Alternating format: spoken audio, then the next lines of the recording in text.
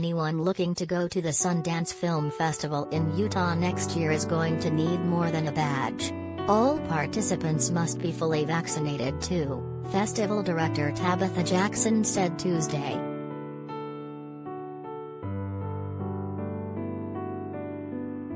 The 2022 festival is requiring people attending the festival or Sundance affiliated events to have received the COVID 19 vaccine.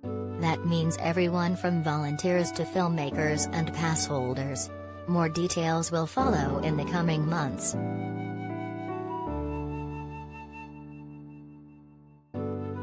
Following the largely virtual Sundance earlier this year, organizers are planning to hold in-person events in 2022 with screenings in Park City and Salt Lake City, Utah, as well as some satellite screenings at regional theaters throughout the U.S.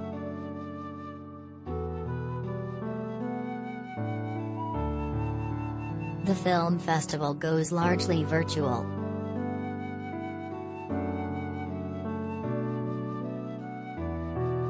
a moving coming-of-age tale about the hearing child of deaf parents and Questlove's documentary about the 1969 Harlem Cultural Festival won the top prizes at this year's festival.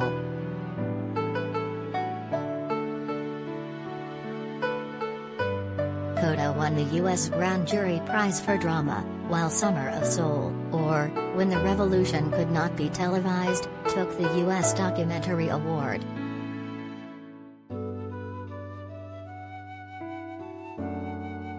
Coda also took home the award for Best Director for Siân Heder and Best Ensemble.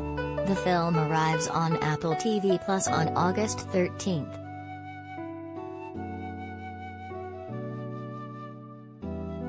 Summer of Soul is currently streaming on Hulu.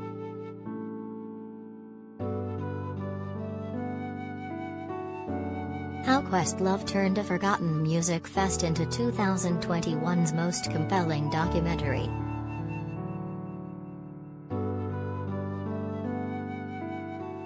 Coda star Marlee Matlin talks inclusion, calls on Hollywood to hire more deaf actors.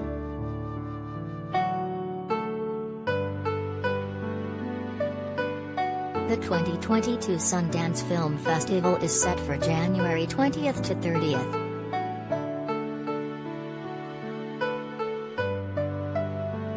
Contributing, Andrea Mandell, USA Today.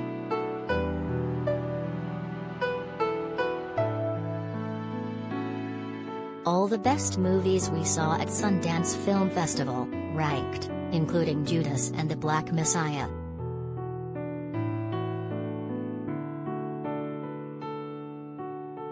The six best movies for representation you haven't heard about yet.